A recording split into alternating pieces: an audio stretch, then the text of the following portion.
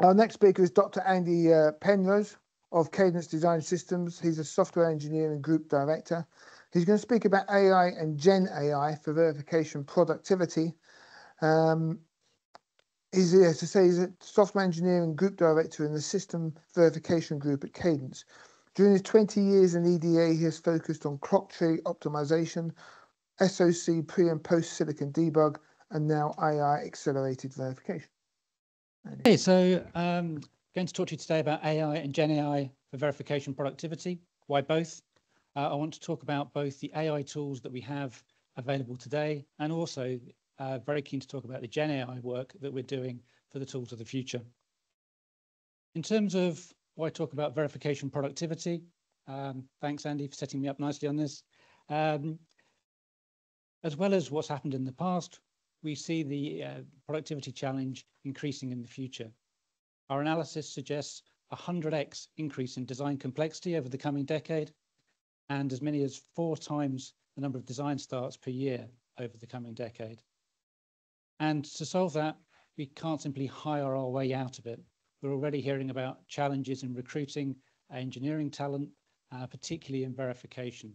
So we need to find another way to address that. Looking back over the decades, EDA has come up with a number of, uh, well, the industry has come up with a number of ways uh, to move forward on this automation, cell-based design, design reuse. And we see AI-driven verification as the next big opportunity to get a, um, significant change in productivity. Looking back at the last slide, you'll see that 10x isn't really going to be enough. So we're looking for a more than 10x increase in productivity using these AI-driven tools. In terms of Cadence's overall AI strategy, um, we have our traditional engines that you'll be familiar with running on accelerated compute. And we're building, or have built on top of that, a layer of AI optimization. So I'll talk more about the Verisium platform in a minute. on top of that, we're building a layer of generative AI, which I'll talk more about. To the side, we have uh, the Cadence JedAI infrastructure. Uh, one thing that became very obvious when we embarked on looking at generative AI for EDA was that it doesn't make sense for each generative application to think about what LLM should I use? How am I going to access GPU resource to run it? So we want to centralize that and provide that as a service to all of the Cadence tools for their generative AI components. So that will be the, the role of JedAI in that case. One thing that's important when we're talking about these AI-driven solutions is that we're not looking to replace the engineer. We're looking to catalyze the engineer. AI algorithms, especially when task complexity is low and data volumes are high, can be very useful at processing data. But when the data volume is small and task complexity is higher, the human characteristics of intuition, judgment, and ex experience are still very, very valuable. So we want to combine those, get the best of both, and have AI-driven EDA that accelerates the human in the loop. Now, I've talked very generally about AI strategy. Obviously, this is verification futures, so I want to bring it back to verification. So this is the Verisium AI-driven verification platform. Uh, it's built on top of our existing engines, uh, and I'm going to touch on most of these boxes in the presentation today. Running right the way across, we have Verisium Manager, some of you will know as vManager, our tool for planning, running regressions, and coverage analysis. And at the top, Verisium Debug, which some of you may know by its old name, Indago, our key tool for debug. All the little boxes are the apps that we have within the Verisium platform, uh, which I will touch on today. Just to say that the green is currently available apps, Blue box, the two blue boxes are new, and the orange boxes are work in progress. There were a lot of little boxes on that slide, so rather than go through them all in detail, I think actually the in the handout the presentation does go into some more detail on some of these, but uh, doesn't quite fit in the time available. So I've divided it up into three major AI flows for verification. When we ask people where they spend most of their time, uh, in verification, one thing that comes up again and again is debug and regression analysis. 70% um, of time typically goes in that. That's a really big target for us to improve productivity. Uh, so we have a selection of apps, all of which can be used individually, but actually work together really well as a flow to address that challenge. Starting with a regression that contains failures, you would be wanting to triage those to find out how many real um, issues you have to resolve. That can be very time consuming. Uh, so we've developed auto triage, which integrates with Verisium Manager to um, analyze the test failures, provide some bucketization into different bugs, uh, into different bug categories, and then present that to the user for, um, for checking. And any alterations, any edits the user makes to that are then fed back into that model to improve the bucketization in future runs. And we've heard back that that, in, uh, that can give a three times reduction in post-regression failure triage time. Having, having done that bucketization and determined how many real bugs you have to go after, typical thing would be to look for causative change. What has, what has caused that failure? Um, binary chop would be a typical way of doing that, but it's not the most effective way of getting to the answer uh, as quickly as possible. So we have PinDown as a tool to assist with that. This uses a machine learning model for bug prediction, essentially looking at the changes between the passing and the failing regression runs and looking for risky or potentially concerning changes um, or code that's changed frequently by many people, things that are risk um, uh, things that highlight a risk in those changes. PinDown doesn't just run one, uh, one experiment. It can run configurably run a number of experiments uh, on the farm.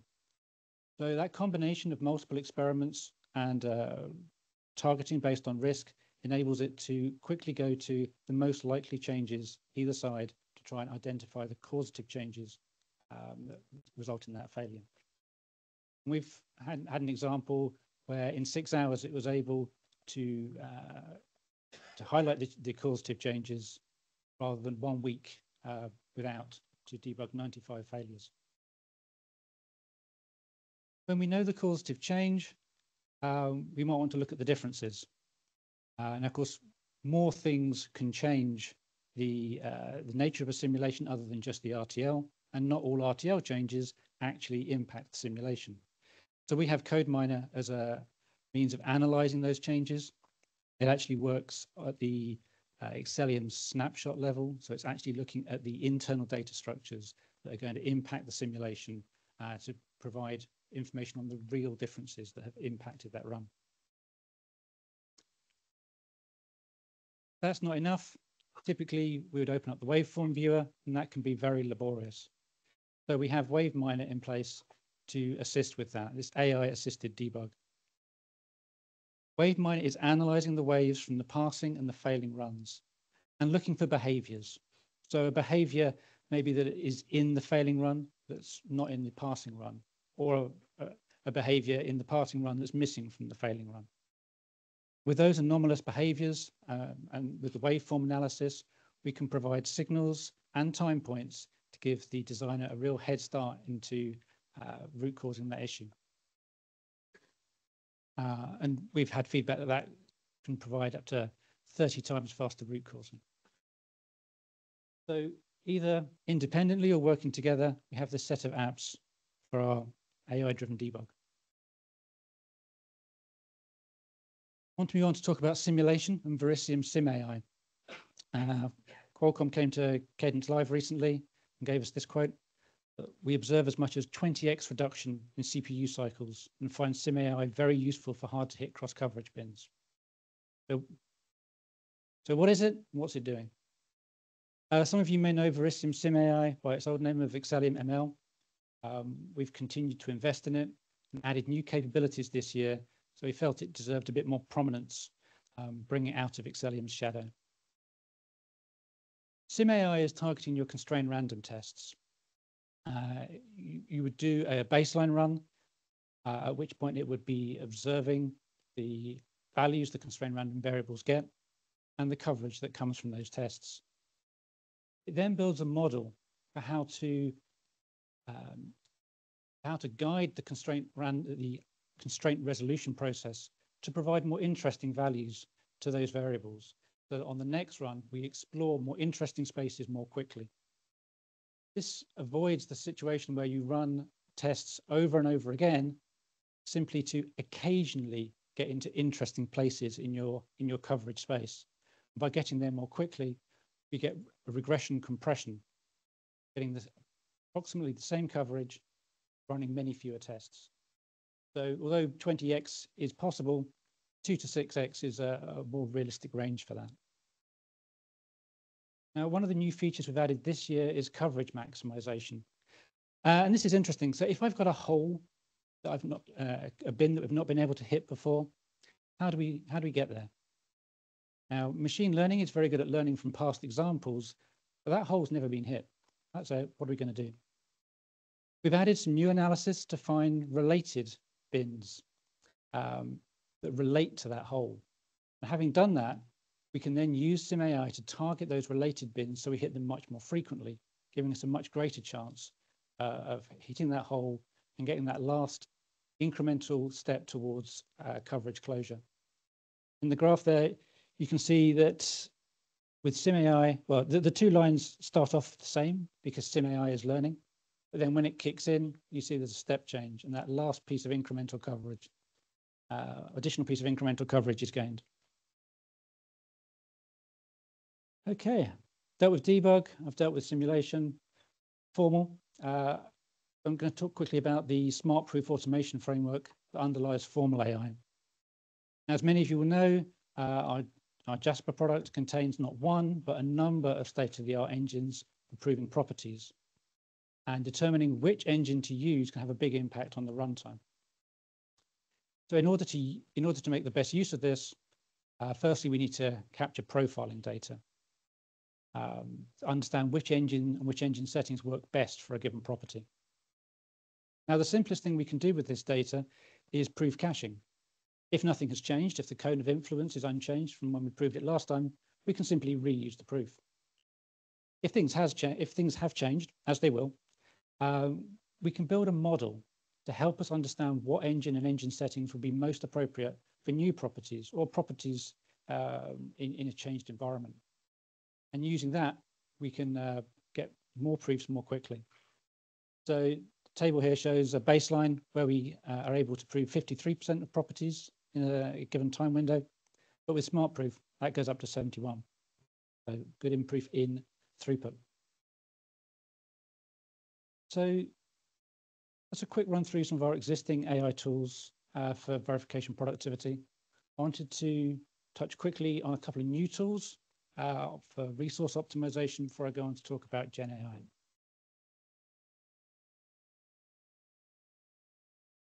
With autofocus, aiming to avoid the problem of running tests you don't need to run.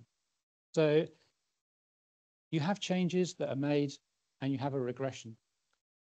But the regression is going to have a lot of tests in it that test the areas that are unchanged. So in order to cut down on the number of CPU cycles, the compute cost for running regressions, we want to focus the uh, regressions that we run around the changes that we've made. So what autofocus is doing is taking a baseline run, understanding the, uh, the coverage that the different tests provide, then doing an analysis on the changed design so that we can provide uh, a ranked list of tests that focuses on those changes providing an optimized regression. The other new tool I want to talk about quickly is SmartRun. Uh, the goal of SmartRun is to provide the fastest turnaround time for a regression and improve uh, verification throughput. So this integrates with Verisium Manager. Um, if you think about your regression, you can think about it as a, a rectangle where one axis is the time taken and the other axis, there's a number of compute slots on the farm that are used. We want to minimize that box.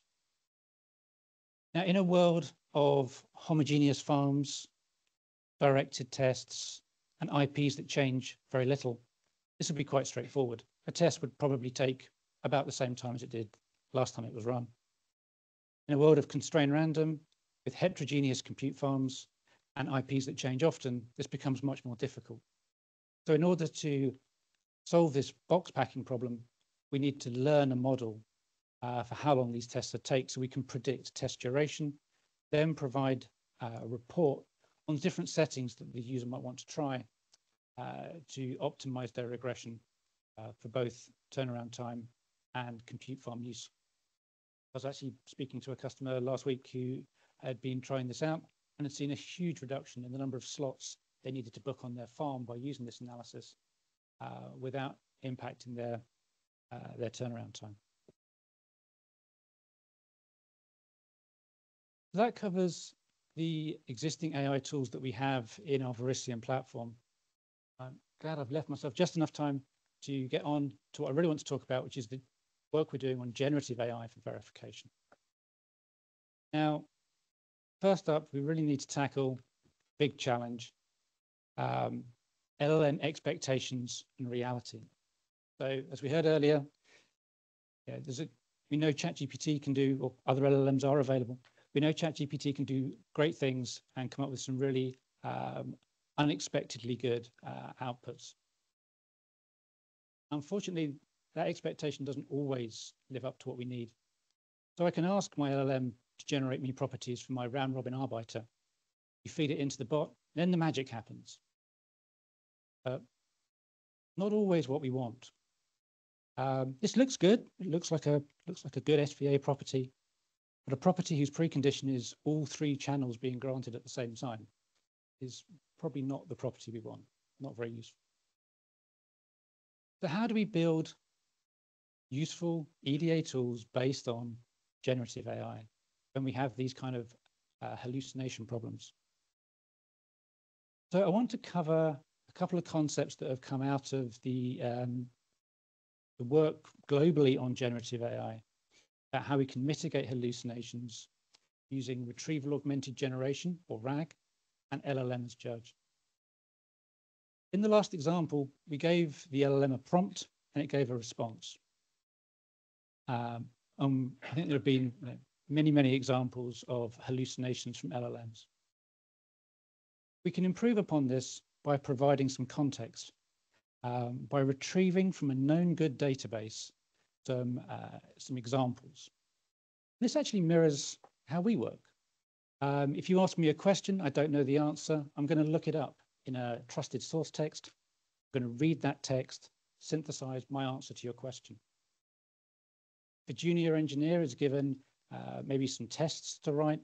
They're probably going to look at other tests in the project or previous projects and use those examples to synthesize the new output that they need to write. And it's the same with the LLM. So that's one thing we can do, but we can do more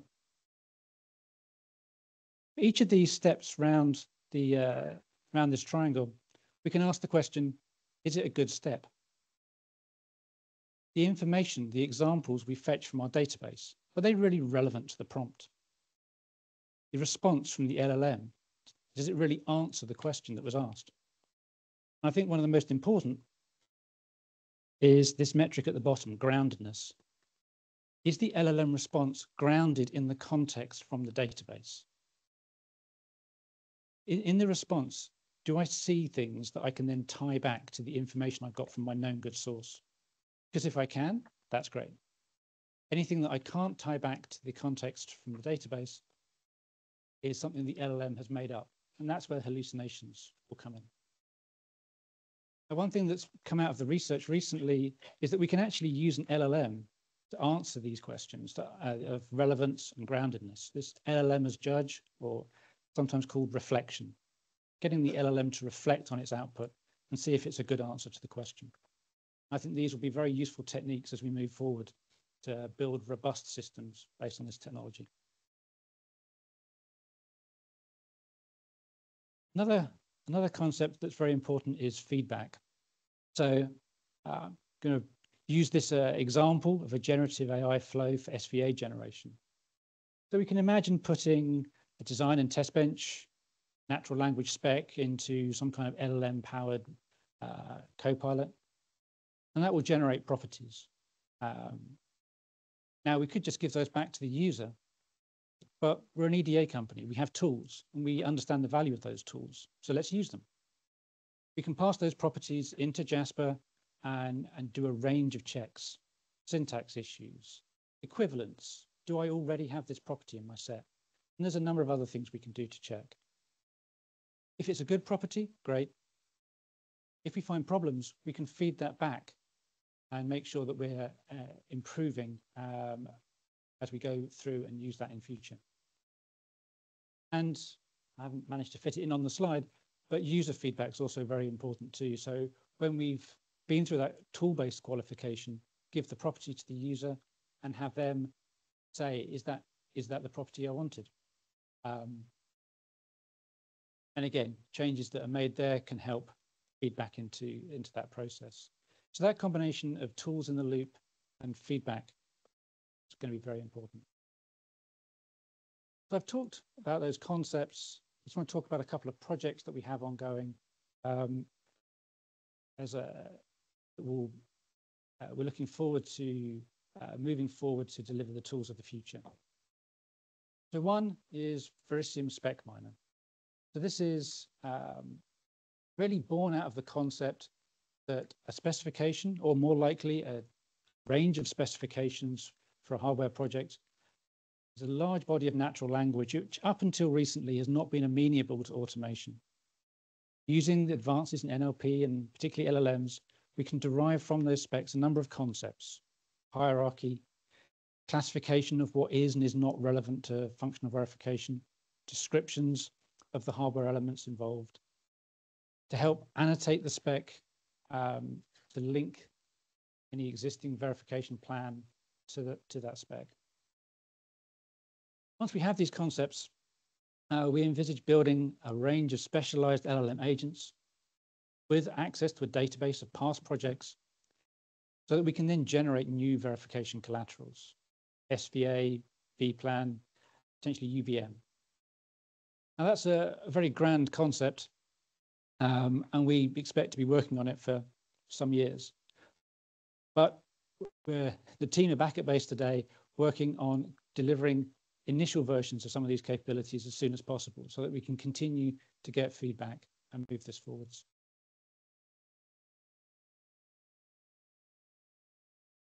Another project we're looking into is the use of um, co uh, Verisium Copilot, the capabilities that we might build into our tools in this regard. And we think it's important that any chat interface be integrated into the tool so it's there in the tool that the uh, engineer is using all the time.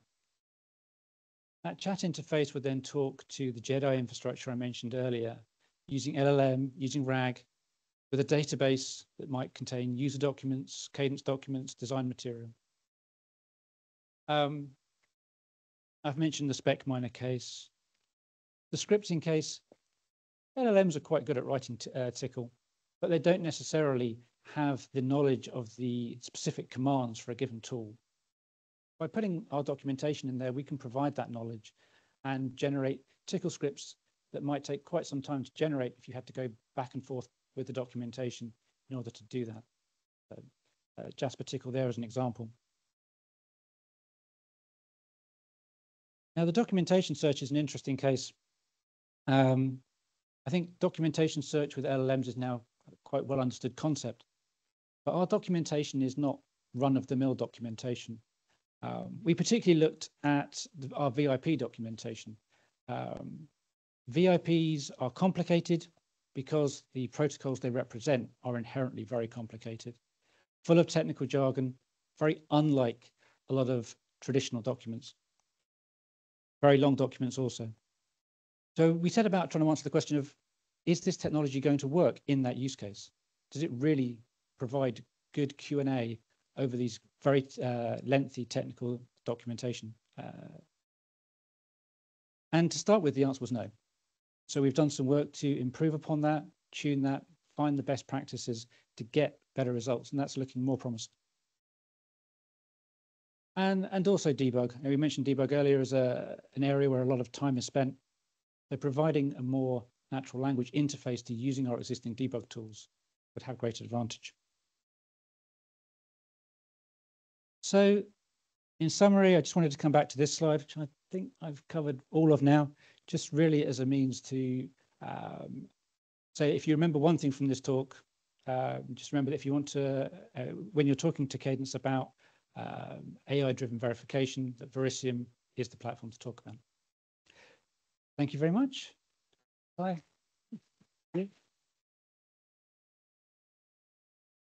And we do have a little bit of time for just one question. If we got a question for for Andy. Um, let me. That won't work, so I'm going to run so we can record the question online. There you are. Introduce yourself.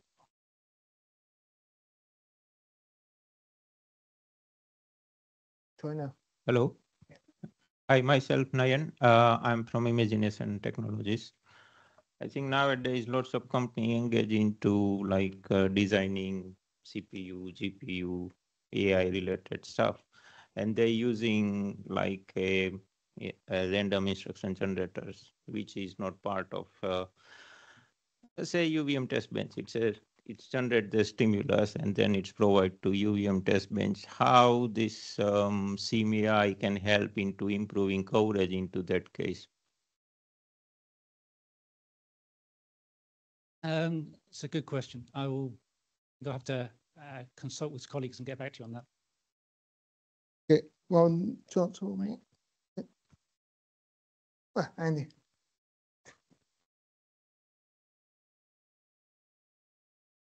Andy. uh, Andy. Uh, one of the fears of using things like ChatGPT or anything else is about IP leakage. How will EDA vendors ensure that designs and code do not leak outside their trusted, supported EDA environment? That is a, a great question and reminds me that I forgot to say something earlier during one of my earlier slides. So I talked about the um, the JedAI infrastructure for providing LLM services. So that is built to be an on-prem deliverable solution with LLMs running within the customer's trusted environment. So that is uh, keeping all of that data in, within their firewall. Okay, brilliant. Thanks, Andy. Thank you very much. Thank you.